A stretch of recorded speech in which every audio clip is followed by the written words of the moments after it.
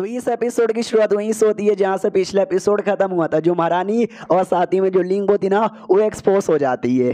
तो अपनी जीलियन भी कहती है, मैं कटे से कि भाई, क्या चल रहा है? तुम्हारे बेड के नीचे ये दो दो लड़कियाँ सामने से लिंगबो समझाते कि सुनो जीलियन मैं समझाती हूँ। जो इनकी चोट को ठीक करने की जो दवाई है ना, वो दवाई लेकर आई थी और कुछ भी नहीं। जो सुनते जीलियन कहती दवाई लेकर आई थी। बेड के नीचे छुप के भाई कौन सा दवाई यहाँ पे दिया जाता है? ये लगाया यहाँ पे जाता है। यानी भाई लाइक तो ये भी करती है हमारे मेकटे को तो जलन इसको बहुत ही ज़्यादा हो रही थी। तो सामने से अपनी जो महारानी थी ना, महारानी बड़ी एक्साइटेड यहाँ पे थी। यस मैनू मज़ा आ गया, मैनू मज़ा आ गया, मैनू मज़ा आ गया। हमारा मेकटा मैंड टू मैंड कहता क्या तुझे मज़ा यहाँ पे आ रहा है? अभी जो कुछ लफड़ा यहाँ पर ना, मैं तेरे वजह से यहाँ पर हुआ है। तो सामने से वो भी कहती मेरे वजह से कोई भी नहीं हुआ। जो कुछ हुआ, तेरे वजह से यहाँ पर हुआ। तो जीलियन की ध्यान भी महारानी पे जाता है और नहीं पहचान पाती। और तो पूछती, बताओ यार, अब ये लड़की कौन है? तो सामने से हमारे मेकट बताता अच्छा ये अभी यार, ये हमारी देश की महारानी है। तो सामने से जीलियन भी कहती, क्या हमारे देश की महारानी है तो अपने मुंडी नीचे करती है कि महारानी की जय हो। वो भी कहती है महारानी, मैं पहले से यहाँ पर हूँ। अभी एक नॉर्मल सी लड़की बनकर आई हूँ तो मुझे जय हो जय हो बोलने की ज़रूरत नहीं है। मैन टू मैन नजीलियन मेकटा से ये भी पूछती बताओ यार, महारानी, तुम्हारे कमरे में क्या कर रही है? जो सुनते ये कहता भाई, मुझे क्या मालूम? मुझे भी नहीं मालूम मेरे कमरे में क्या कर रही है। तो अपनी महारानी बताते कि सुनो सुनो मेरी बात यहाँ पे सुनो। ये जो मेन कैरेक्टर यहाँ पर ना, कोई ऐसा वैसा बंदा यहाँ पे नहीं है स्पेशल आइडेंटिटी वाला बंदा यहाँ पर है। हाँ तो ज़ाहिर सी बात यहाँ पर है कि वेल इसके लिए मैं मिलने के लिए यहाँ पर आई थी, लेकिन अब यहाँ पे पापा जाऊँगी, और इसके बारे में किसी और को मत बताना। तो जीलियन भी कहती स्पेशल आइडेंटिटी कैसी आइडेंटिटी वही आइडेंटिटी इसके जो मम्मी पापा ना स्पिरिचुअल डेटी है। और स्पिरिचुअल डेटी यानी दुनिया के सबसे स्ट्रॉगेस्ट बंदा लोग के अंदर उनका भी नाम आता है। तो ज़ाहिर सी बात हमारे में कटे जो आइडेंटिटी है ना, वो सिंपल यहाँ पे नहीं रहेगा। और उसके बाद है ना भाई, वो कहती है, लिंग बॉस से लिंग सुनो यार तुम्हारे अब्बा जान से मिलने आई थी, अपने अब्बा जान से मिलाओ, महल से चोई चुप कैसे आई थी। तो महल के अंदर भी ना, तुम मुझे सेफली पहुँचा देना लिंगबो कहती हो कि ठीक है। दवाई जीलियन को देखते, देते हुए जाती है कि भाई ये लो दवाई, मेरे बदले यहाँ पे लगा देना। भाई उतना बोल के निकल जाते हैं। जैसे निकलते हैं कमरे के अंदर जीलियन और हमारा मेकट दोनों अकेले थे। हमारा मेकट भी अपनी आइडेंटिटी के बारे में बताने को तैयार यहाँ पे था। वो कहती वो सारी बातें फालतू है भाई, भाड़ में यहाँ पे जाए। अभी के लिए उल्टे होके लेट जाओ, मुझे दवाई लगाने दो। तो उल्टे होके यहाँ पे लेट जाता है, और ये पीठ पे दवाई लगाने लग जाती है। अरे पीठ पे पहले से लगा के गई है, टांगों पे। यार, वहाँ वहाँ लगा दो ना यार। सामने से कहती भी केवल यार, मुझे लगा तुमको चोट लगी पड़ी है। काम करने में बनेगा नहीं, उठने में बनेगा नहीं। तुम तो भाई दो दो लड़कियों के साथ अंदर मज़े कर रहे थे। यानी तुम्हारा चोट तो लगभग काफ़ी ठीक हो गया। जान के मुझे भी अच्छा लगा।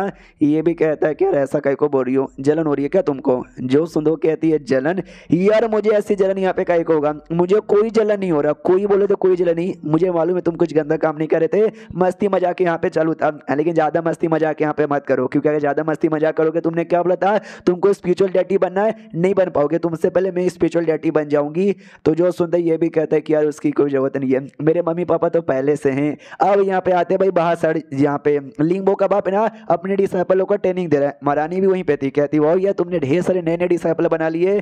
तो लिंगबो का बाप भी कहता यस, आपकी कृपा की वजह से। जो सुनते सामने से ये कहते, सुनो भाई, इन टाइम के अंदर गाँव फैमिली ने जो कुछ यहाँ पे कहने काफ़ी बुरा बुरा काम यहाँ पे किया तो गाँव फैमिली को उसकी जो औकात है ना, औकात दिखाने की बारी आ चुकी है, तुम दिखाओगे। जो सुनते, वो भी कहता है, यार, मैं बस एक नॉर्मल मार्शल आर्टिस्ट यहाँ पर हूँ और जिसको चोट लगी हुई है, तलवार निकल के वापस से फाइट ही नहीं कर सकता तो मैं क्या ही कर पाऊँगा? जो सुनते, महारानी भी कहती है, भाई, इतने साल यहाँ पर हो गया, लेकिन तू बिल्कुल भी चेंज यहाँ पे नहीं हुआ है। वैसा का वैसा यहाँ पर है डोंट वरी तुझे कुछ नहीं करना, कुछ मत यहाँ पे कर। बस तू अपने अंडर में ढेर सारे डिसाइपल यहाँ पे बना और उनको ट्रेनिंग दे, और स्ट्रॉन्ग बना दे। लिंगबो का बाप कहता है, यस, ये तो मैं करूँगा, लेकिन मुझे नहीं लगता भाई खाली आप इसी काम के लिए यहाँ पर आई होगी। आपको कोई और काम भी होगा। जो सुंदर वो भी सामने से बताता बताती है कि, यस, मुझे कुछ और भी काम है। लूश है वो ऊपर का तुमसे मिलने आया होगा और नॉर्थन एरिया में गया ना। जो सुंदर ये कुछ नहीं बोलता। कुछ बोले तो कुछ भी नहीं बोलता, क्योंकि उसको बताने का मूड यहाँ पे नहीं था। तो महारानी भी कहती है, एक सेकंड तो उसको बचाना चाहता है। इसके लिए तो उसके बारे में कुछ बता नहीं रहा। जो सुंदर ये भी कहता है यस मैं उसको बता, बचाना चाहता हूँ, क्योंकि आई नो भाई नलायक डिसाइपल है, धोखेबाज डिसाइपल है। लेकिन है तो मेरा डिसाइपल ना तो मैं नहीं चाहूँगा उसको कुछ भी यहाँ पे बुरा हो जाए। जो सुंदर सामने से ये भी कहता है, अच्छी बात है क्या मत बताना है तो मत यहाँ पे बताओ। जो दो लोग यहाँ पे थे, शी और साथ ही में भाई डाई, जो कि शायद हमारे मेकटा की माँ का नाम होगा कि भाई शी तो उसके बाप का नाम है ना। वो दोनों जो मिशन पे यहाँ पे कहते हैं उस मिशन का मेन मकसद यहाँ पे था तुम्हारा जो दवा है ना, वो दवा पता करने का, जिससे तुम्हारा जो चोट है ना, वो चोट यहाँ पे ठीक हो सके। जो सुंदर लिंगबो का बाप कहते हैं, मेरा चोट है ना, बहुत ही गहरा है और बहुत सालों से यहाँ पे हुआ पड़ा है। अब यहाँ पे जीव या मरू, मुझे कोई फ़र्क ही नहीं पढ़ता। जो सुधे सामने से महारानी कहती है, तुझे नहीं पढ़ता? लेकिन मुझे पढ़ता है। क्योंकि भाई, मुझे ऐसा एहसास हो रहा है कि आगे चल के ना, हमारे किंडा पे बहुत बड़ी मुसीबत यहाँ पर आएगी। तो उस मुसीबत से दूर करने के लिए हमको तेरी पावर की ज़रूरत पड़ेगी। जो सुंदर लिंगबो का बाप कहता है, एक सेकंड मुसीबत आएगी? क्या डेमो लोग हमला करने के बारे में सोच रहे हैं क्या? जो सुंदर महारानी कहती है, खाली डेमो नहीं। आई डोंट नो काय को यार, मुझे लग रहा ना डेमो से भी बड़ी कोई बड़ी फोर्स या कुछ ऐसे बड़े लोग जो हमला करने के बारे में सोच रहे हैं। उसको यहाँ पे शीश था गाँव फैमिली में, जो गाँव चंद लड़का यहाँ पे था ना, उसको अकेडमी से निकाल दिए थे। तो इसको खबर यहाँ पे मिलती है। बहुत ही गुस्सा आता है। तो सामने से नौकर समझाता है कि हमारी गाँव फैमिली ने स्पेशली आपने क्या क्या किया ना, वो पब्लिक ने नोट यहाँ पे किया था। तो उसी भरोसे ना वही डिसाइड यहाँ पे किया गया है आपको काम से निकालने के लिए मतलब अकेडमी से निकालने के लिए। गुस्सा करके क्या ही होगा? इसको लेकिन सच्ची में गुस्सा था। गाँव फैमिली के यंग मास्टर उनकी क्या औकात है यार, जो मुझे अकेडमी से लोग ऐसे निकाल सकते? उतने में ना एक औरत यहाँ पर आती है, और जैसे औरत यहाँ पे आती है ना, वो कहती है, एक छोटी सी अकेडमी तो यहाँ पे थी। बदले में टेंशन काय को लेते? आपके अबाजान ने मुझे यहाँ पे बुला लिया है आपको यहाँ पे सिखाने के लिए। जब तक मैं आपके अंडर में यहाँ पे रहूँगी ना अकेडमी में जो भी बच्चे ना, आप सारे बच्चों के मुकाबले बहुत ही स्ट्रॉन्ग बोले तो बहुत ही स्ट्रॉन्ग यहाँ पे बन जाओगे। तो सामने से ये पहचान नहीं पाता कहता अभी आप हो कौन? ये बताती कि वैसे मेरा नाम तो यहाँ पे बिल वो है। लेकिन जो बंदे मुझे यहाँ पे जानते ना, वो लोग मुझे इम्बेरेड मरानी यहाँ पे बुलाते हैं। इम्बेरेड एक टाइप का ना भाई ऑर्नामेंट होता है। जैसे हीरा रूबी हो गया ना, वैसे ही एक टाइप का, ये भी मतलब समझो चमकदार आइटम होता है, अपना पावर शो करती है, जो कि स्पिरिचुअल एम्पर लेवल पे था, यानी नोवे रैंक पर। ये भी देख के खुश हाँ। भाई आपके अंडर में सीखूँगा, तब तो मज़ा आ जाएगा। अब आते भाई, ये क्या दो दिन बाद, जहाँ पे हमारा मेकटा ठीक हो चुका था, सारी चोट ठीक हो चुका था, और अकेडमी जाने को तैयार था। कहता, वाह यार, हुआ का दवाई तो बड़ा कमाल का था, मेरा चोट ठीक हो गया। पीछे से जी लिया ना आती वो कहती, भाई, खाली दवा बढ़िया था, यानी मैं भी बढ़िया थी। मैंने दवाई लगाई तो ज़्यादा सही हो गया था, समझो? तो तभी पीछे से लीन यून भी आता, और कहते कि यहाँ भी मुझे मत बोल, यार, इतने दिन से तू क्लास में नहीं आया था, तूने बहुत सारे क्लास यहाँ पे मिस कर दिया तो टीचर ना, तेरे को प्यार से बर्ताव नहीं करेगा, थोड़ा अकड़ू टीचर है, समझ जा।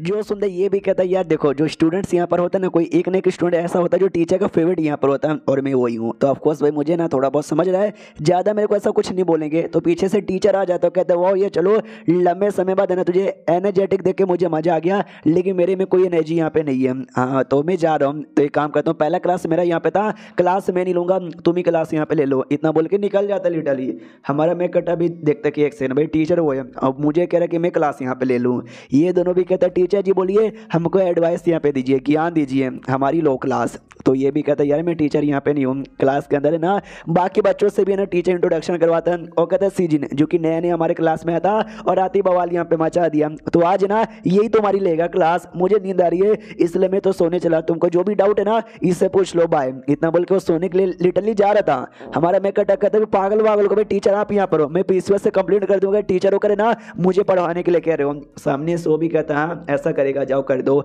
सुनो यार बच्चों लोग, आराम आराम से डाउट यहाँ पे पूछना, एक बार में डायरेक्ट इसके ऊपर कूद मत जाना। तो सारे बच्चे आगे आते हो कहते टीचर जी, नमस्कार मेन्यू डायरेक्ट क्लियर करवा दो। तो ये भी देखते क्या अरे यार यार मतलब मुझे टीचर अरे नहीं यार वो सब यहाँ पे कहते हैं, हमको ना फाइट आपके साथ करना है। ये भी कहता है फाइट करना है एक बार में। वो कहता है यस तो हमारी जीलिया ने ना, वो ली लीन उनसे कहता भाई, तुमको नहीं करना, तुम भी जाके कर लो। वो कहता है कि वेल यार, मैं करूँगा मैं करूँगा, आराम से बाद में करूँगा।